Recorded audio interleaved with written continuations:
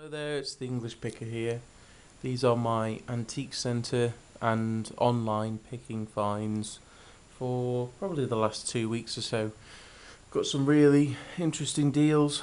A lot of these pieces uh, are for myself, but I've got some pieces for resale as well. So um, yeah, I'll get right into it. First thing I picked up recently uh, was from an antique centre. I paid fifteen pounds for it, and it's this uh, this chain just here.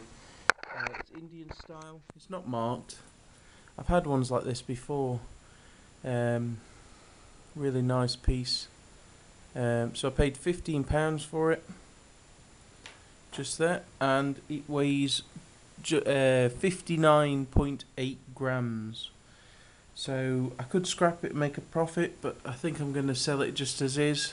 Um, so yeah, I'm not too sure. I've got a 925 stamp, so I'm, uh, I might stamp it just on here and uh, try and resell it in either online or another antique centre maybe. So uh, nice piece. Uh, picked up this little chain here. It's diamond and silver. Quite a nice piece. Um, that was on eBay, and I got that for 99p plus one pound postage. So it's uh, silver and a little diamond, so that's a nice piece. Picked this up, bit of an unusual one. It was described as scrap gold, and um, but I knew exactly what it was, and it is um, nine carat gold, easy solder. Um, weighs two grams, and I paid ten pounds for it with free postage. And that's a really good deal because actually this solder uh, stuff is actually going for between 16 and 18 pounds a gram new. And this is from Cookson's Precious Metals, which is in London. Um, so yeah, uh, really good deal for 10 pounds. Um, I'll probably keep this and use it to fix any pieces that I get that are broken and that are gold. Next thing I got, I paid £22 for from the antique centre. It's a lovely little ring, um, diamonds in it, and it's 9 carat gold, and it's uh, 0.19 of a carat, so um, almost. What's that? Um, 0.2, so almost a fifth of a carat. It weighs 2.2, so I've paid around scrap for it. Um, sorry, yeah, 2.25. So yeah, pretty good. I'll see if I can replace the diamond, and then that's maybe worth about 50, maybe. Pretty good deal, bit of a project for me. And if all else fails, I'll just scrap it, and that's it really. Um, next thing I picked up offline, buy it now, 15 pounds. It's a little gold ring with diamonds in it. Uh, this weighs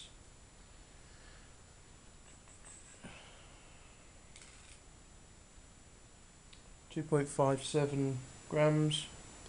Uh, but the the neat thing about it is it's got this little swivel bevel thing that says "I love you" on it. So uh, that's pretty cool. Um, probably put that in my antiques booth, and um, you know that'll sell well. Uh, next thing I picked up offline for three pounds was this set of coins here. Um, a 1940 nickel, a 1926 merc, a 1940 merc, a 1912 uh, cent, and a 1917 cent. They're all for myself, uh, other than the 1940, which will just go in the junk box. The others are date fillers that I need. So, this was a co- cool series of finds. There were um, some online purchases. I paid twenty pounds for this, which was nice. Um, it was originally from the Franklin Mint. It's a 1988 commemorative silver dollar. Real nice condition. The thing's open, so I'll get. I'm gonna get a case for it. Um, but it's the proof version. Um, 1988S. So that was cool. Uh, next one was a bite now. Um, I paid up for this one. I paid thirty nine ninety nine for this, uh, but it is a rare one uh, for these commemoratives. It's a the 1997 S Jackie Robinson uh, commemorative silver dollar. Um, really quite a low mintage on this one. Proof finish. And um, yeah, I paid forty pounds for that, so that's about sixty dollars. Um, so I think I did quite well because um, they tend to sell for 20 30 pounds more than that on eBay. Uh, it was an auction and it was just finishing at a funny time, so um, that was a good deal. Next thing I picked up uh, for twenty five pounds was this um, this here. It actually came from Norway. Uh, no, Denmark. As you can see there, Denmark, and all this is in Danish. Um,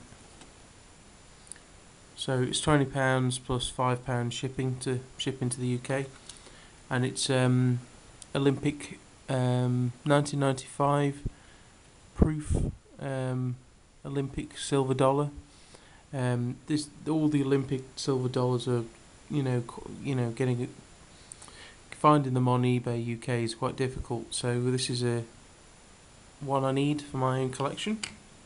That's good. And I got an absolute screaming deal for twelve pound fifty plus two pound fifty postage, so fifteen pounds. I got this again Olympic uh, one. Um, it's a 1984 S. So I've already got this one, uh, but this one's a bit nicer condition, so I'm going to swap it out, and then I'll probably sell the other one in my antiques cabinet uh, for 25, something like that, 30 maybe. So uh, that was a good deal. Again, didn't know why it was so cheap, but hey ho. Uh, then I got these two here, these two coins here. I've got 1886. I seem to be getting quite a few 1886s recently. Um, these were 39.99 by now for the two, so that's good. Um, that's 1886 Philadelphia and then this is the Starfind. It's a 1903. It's a date I need in really nice condition, and it's a Philadelphia. And this books really well. So um, yeah, that was a good one. So uh, another one for my own collection. I seem to be keeping everything in this video. Um, the next piece. Now this could be a sleeper. I'm not too sure of this. This was actually a buy it now, but it'd been on for a couple of weeks. I think it, has been on there for quite a while, and and it had been listed a couple of times, and I'm not sure why anyone bought this. Um, I think I paid forty for it, something like that. Um, thirty-eight forty, and um, it is the Marine Corps silver dollar, uh, proof finish, Philadelphia mint mark and um, the reason why I got it is because it's graded and it's graded proof 70 uh, deep cameo. And uh, it's in an old ICG holder. I checked out the serial number and it all matches. So yeah um, top grade proof 70 deep cam. And um, I think for that price I think it was an absolute steal. So could be a sleeper. Not too sure on this um, so that's about $60 so um, not too sure what it's worth, but I'll I'll be keeping that one anyway. So, but yeah, I do like picking up grading graded coins when I do see them. Anyway, back to the antique centre. I bought this job lot here. Um, it was a job lot of jewellery. It was described on the um, on the big bag as um, mixed mixed silver jewellery, mostly broken. Uh, it was priced up at thirty and I got it for 27 because I can get 10% off. And there's some absolute gems in there, some real nice pieces. So I'll quickly go over. There's a set, little set of 9 carat gold earrings. Um, they're nice. They weigh around a gram. Then there's this thing here, which I have absolutely no idea what it is. There's no markings on it, and I've yet to test it, but I think it's rolled gold. Beautifully engraved there and stuff, so not too sure. There was a little earring, 9 carat white gold. That weighs just under a gram as well, so that's nice. And then the key find which drew me to the bag was this ring here. Really interesting. I can't make out the marking. It could be 925. but it's I can't. I mean, it's so thin, and I cannot squish it at all. It's so rigid. So I'm thinking it could be gold, possibly. The marking's really rubbed, so I'll keep you updated on that. Gold or maybe even platinum, because it is so hard. Um, so yeah, not too sure on that. That weighs 1.3 grams, and um, yeah, bit of a sleeper. But the main reason why I got um, these pieces were, um, sorry, it weighs 1.4 grams. Uh, main reason why I got it were these pieces here, and I've sold one of them already, which is uh, this ring here. It's really cool. It's like a men's signet ring, massive, with this amazing engraving and uh, lovely details. It's 835 silver. Uh, and it sold for twenty-seven pounds and forty something p, plus postage as well. So um, that paid for the bag. So everything else is a winner. I quickly skimmed through the rest. Another massive silver ring there. There's this one here with uh, moonstone in the top with beautiful sort of scroll work, and then on the inside it says Friedel to Fred, which is quite sweet. I think I'll be keeping this one because it does fit me and uh, this one is uh, also 835 silver. So there's those large rings. There's a little Thailand silver ring.